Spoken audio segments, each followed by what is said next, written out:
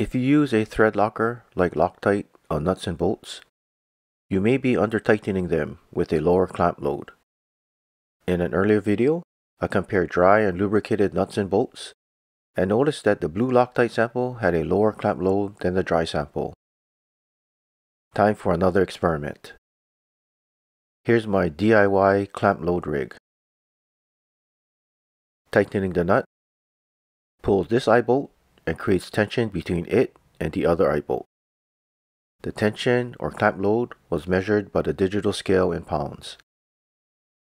This digital torque wrench was used to torque each nut to 3 foot-pounds. The nuts and eye bolts were used as is out of the boxes like most DIYers will use them. First, dry sample 1 and a clamp load measured 362.8 pounds. Dry sample 2 measured 369 pounds. For the blue Loctite sample, I applied two drops, spun on the nut, and immediately torqued it to 3 foot-pounds. The clamp load measured 290 pounds. Blue Loctite sample 2 measured 269.8 pounds. The same process was followed for the red Loctite sample and the clamp load measured 230.4 pounds.